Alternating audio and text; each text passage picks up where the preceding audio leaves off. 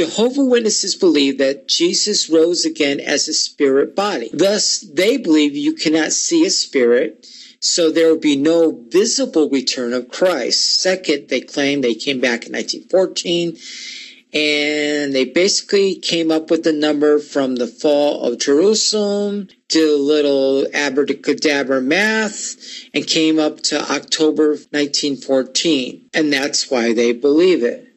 But what's wrong with this picture? First of all, at Jesus' return in 1914, and the Watchtower is God's channel of truth, then why do the Jehovah Witnesses still take communion? For the Apostle Paul said in 1 Corinthians 11 26, For as often as you eat this bread and drink this cup, you do show the Lord's death till he come. Well, if he came, then why are you still taking communion? You're going against the very one you claim you serve. Another thing, lightning is something that's very visible. Why would Jesus describe his second coming with such profound emphasis on something visible as lightning if he was coming back invisible?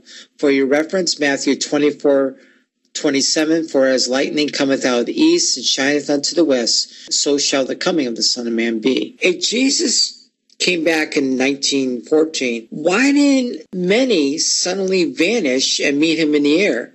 Why wasn't there a missing person report of Jehovah Witnesses? Because in 1 Thessalonians 4, 16 and 17, it says the Lord himself will descend from heaven and then in verse 17, then we which are alive and remain shall be caught up together with them in the clouds to meet the Lord in the air, and so shall we ever be with the Lord. Also, how could someone look upon someone that is invisible? In Zechariah 12:10 speaks of the Messiah that they will look upon him whom they have pierced.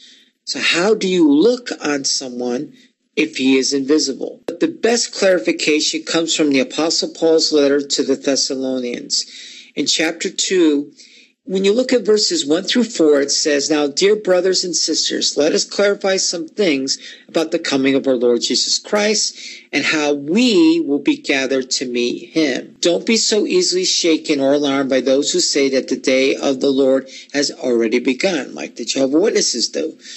Don't believe them, even if they claim to have a spirit spiritual vision, a revelation, or a letter supposedly from us. Don't be fooled by what they say, for that day will not come until, see, what he's about to say destroys the whole watchtower argument. And here it is, that there's a great rebellion against God and the man of lawlessness is revealed, the one who brings destruction.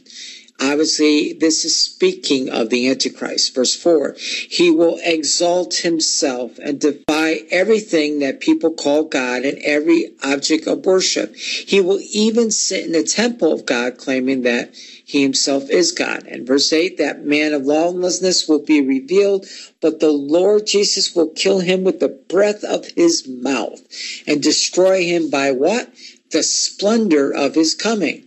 So, unless there was an antichrist that stood in the temple, mm-hmm. which would be impossible because the temple was destroyed in AD 70 and wasn't rebuilt, and there is no antichrist yet that is able to stand in the temple, and Jesus did not destroy him by the splendor of his coming, then the teaching that Jesus came back invisible in 1914 is a false doctrine.